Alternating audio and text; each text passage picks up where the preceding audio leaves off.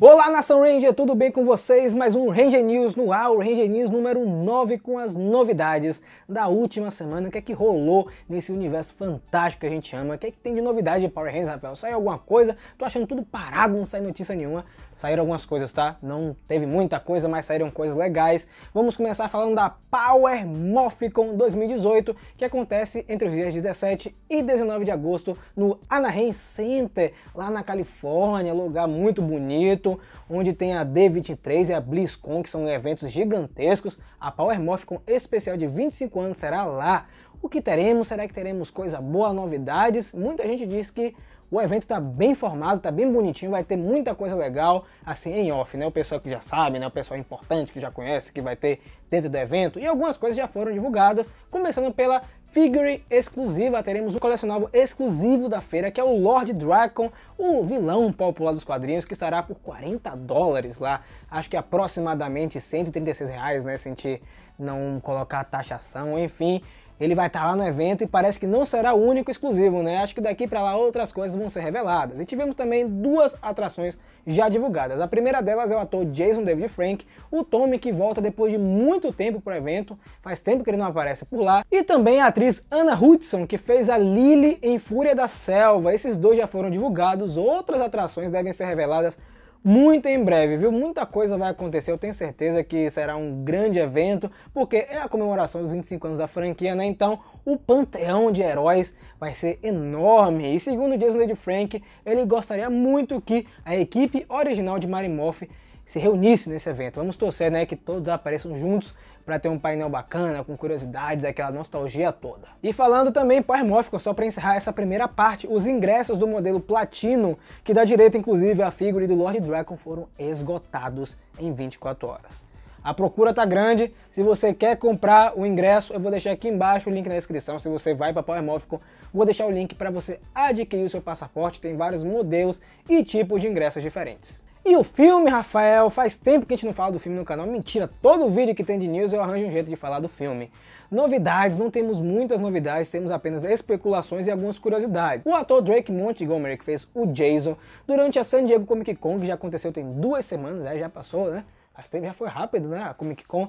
Ele comentou que ainda está interessado em uma sequência de Power Rangers, ele está esperançoso, ele acredita sim que teremos uma sequência, mas quando foi entrevistado, ele disse que não poderia falar muito sobre Power Rangers. Será que tem alguma coisa aí por trás? Será que ele sabe de alguma coisa? Drake, por favor, confirme essa sequência, a gente quer muito que tenha Power Rangers 2. E falando também em Power Rangers, vai sair um set de luxo das moedas do poder da linha Legacy, exatamente agora em setembro. Muito bonito, como vocês estão vendo agora na imagem, vai custar 114 dólares e 99 cents, aproximadamente 360 reais um pouquinho caro, mas quem gosta de colecionar esses artigos de luxo, vale a pena adquirir, até para ajudar também, né, a ter uma sequência. Quem sabe, comprando esse set você não ajuda a Bandai, a Lionsgate a ter uma segunda parte do filme, não é isso? E falando também coisa boa que tem a ver com o filme e também com a marca em geral, é que no Reino Unido, os bonecos, as figuras de ação de Power Rangers se tornaram o produto mais vendido durante três meses em produtos infantis. Isso é muito bom, isso é muito importante, porque vendendo muito produto, despertando interesse das empresas, a Bandai vai cutucar a Lionsgate e vai dizer, Lionsgate, a gente quer mais um filme, lança mais um filme pra gente fazer outros bonecos, a gente fazer um boneco do Ranger Verde, fazer outros Zords, outros vilões. É interessante pra Bandai, vamos torcer que uma sequência seja anunciada em breve, né? Tá demorando muito, eu acho que se for para anunciar a sequência vai ser lá pro final do ano ou quem sabe no início de 2018. Ninja Steel está de volta a partir da próxima semana, semana que vem, voltará a ser exibida nos Estados Unidos. Aqui no Brasil, a temporada passa pela Cartoon Network e não temos previsão de quando chegarão os novos episódios. Agora, olha só, a Espanha exibiu os episódios 9 e 10 antes dos Estados Unidos. Não sabemos se eles irão continuar a exibir na frente do país de origem ou se eles irão dar uma travada, dar uma recuada para poder acompanhar a transmissão da temporada oficialmente. Steel vai até dezembro desse ano, ainda terá 12 especiais um em outubro, que é especial de Halloween, e o episódio de Natal que acontece em dezembro, obviamente. Ano que vem teremos a sequência Super Ninja Steel, que comemora os 25 anos da temporada e tem muita gente aguardando Super Ninja Steel. Eu sou uma dessas pessoas, espero que seja uma temporada muito legal, que eles corrijam aqueles erros de Super Mega Force e Mega Force e tragam uma temporada divertida, cativante e nostálgica, porque não é à toa vamos comemorar os 25 anos de Power Rangers. E finalmente a notícia do título do vídeo foi um furor na semana passada, muita gente ficou assim, agoniada, né? Eu gostei muito desse anúncio. O Al St. John, o Ranger vermelho de Mary Morph Power Rangers, o Jason, o primeiro, o primeiro de todos, confirmou que irá vir para o Brasil no final desse ano, em dezembro.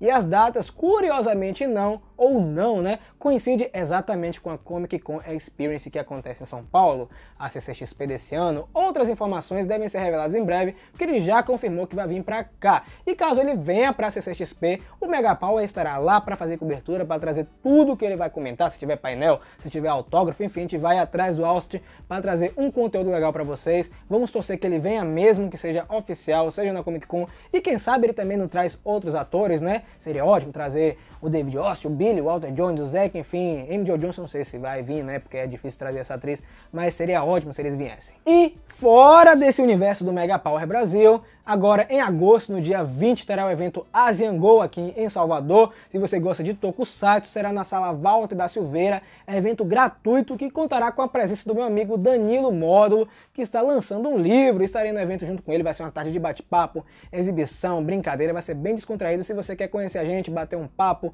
pegar um autógrafo, tirar uma foto, assistir palestra, apareça, entrada gratuita, será às 14 horas. Eu vou deixar aqui na descrição do vídeo um link com todas as informações do evento, beleza? E se você gosta do Mega Hero, também tem o nosso outro canal, né? Que a gente já lançou já tem duas semanas, duas semanas? Tem duas semanas já que a gente lançou esse canal. Se você não é inscrito ainda, vou deixar também o link aqui embaixo. Já tem quatro vídeos postados. Tokusatsu, vai ter cosplay, já tem cosplay. Vai ter quadrinho, mangá, vai ter bastante coisa se você gosta desse universo nerd em geral. É muito bom você acompanhar. Estarei lá, Ana também e outros membros do Mega Hero que vocês não conhecem ainda, mas vão pintar lá em breve. E antes de terminar esse vídeo, olha só que bacana que o Ricardo de Belém mandou pra gente, o Ricardo Moraes. Fiquei muito contente, ele mandou uma encomenda muito legal. Se você quer mandar alguma coisa pra gente, a caixa postal tá aqui embaixo. Cartinha, desenho, alguma coisa que você não queira mais, VHS, boneco usado, boneco quebrado, manda pra gente pra gente mostrar aqui no canal. Ele mandou bastante coisa, vou mostrar aqui pra vocês. A primeira coisa que ele mandou foi esse jogo de memória de Power Rangers Força Mística, cara. Isso aqui tem muito tempo tá até fechadinho. Vou abrir depois, Ricardo. Gostei muito. É da Jaque, acho que é esse que é o nome da empresa que, que lançava isso aqui, eu não me recordo. É da época da Jetix, cara, ó. Caixa dura de força mística, tem 40 cartelas. Vou jogar depois é, jogo de memória com isso aqui. Quem sabe a gente até grava um vídeo com isso. Ele mandou mais coisa também. Ele mandou figurinhas de Power Rangers. Deixa eu ver aqui se dá pra mostrar alguma coisa de um álbum de Power Rangers. Esse, esse álbum é da editora Bill, é o álbum Super Legends. Foi o álbum na época de comemoração dos 15 anos de Power Rangers, né? Tem bastante coisa aqui, tem Força, Força, Força Mística, Jungle Fury, Resgate, tem Marimoff, tem esse aqui também, outro álbum também que eu não, eu não conheci. Na época eu não tinha condições de comprar essas coisas. E fiquei bem contente de ver esse material aqui, vou guardar com muito carinho. Calma que tem mais coisa, tá? Ele mandou mais coisa. Eu fiquei assim, surpreso quando ele mandou. Mandou cards de Dino Trovão, Olha só esses cards aqui. Eu nunca vi também esses cards, não faço ideia de onde seja. Parece uma espécie de super trunfo. E falando em super trunfo, eu tinha um super trunfo tão legal de Power Hands que eu dei para um amigo meu. Eu vou tentar pegar de volta só para mostrar aqui para vocês. E também outros cards de Dino Trovão, só que são maiores, eles ficam em pezinhos. Eles são também da linha Super Legends, né? Que foi comemoração dos 25, dos 25 anos, dos 15 anos de Power Rangers, né? Tem de Jungle Fury, Dino Trovão, tem o que mais? Força Mística. É, a Disney na época trouxe umas coisas interessantes é, para cá pro Brasil. Na época eu não, não, pude acompanhar, né? Também aqui em Salvador não chegava muita coisa, a verdade é essa. Ele mandou também uns, uns recortes de revista. Não sei se dá para pegar aqui, deixa eu tentar. Recorte aqui de revista que ele tinha. Uh, com o Megazord aqui dos Rangers Trovão, né? De Tempestade Ninja, se eu não me engano. Vocês conseguem ver daqui. E mandou uma coisa muito legal que vai ser emoldurada no novo cenário do Mega Power que é esse quebra-cabeça de Tempestade Ninja. Olha só que legal. Isso aqui, gente, muito joia, né? Vou colocar uma moldura, vai estar no cenário novo do Mega Power, com certeza. Ricardo, muito obrigado mesmo. Fico contente que você tenha mandado esse material pra gente. Vamos guardar com muito carinho, com certeza. E se você quer mandar alguma coisa, como eu falei, aqui está embaixo os dados da caixa postal, viu? Manda, a gente vai gostar muito e vai comentar aqui no canal também. Se você gostou do vídeo, clica no botão vermelho, se inscreve no canal, não esquece de seguir o Mega Power em todas as redes sociais, é muito importante pra gente, a gente bater um papo no Instagram, no Twitter, no Facebook, aparece por lá. E não esquece também de acessar o nosso site que é o www.megapowerbrasil.com. Nos vemos em breve e que o poder o proteja.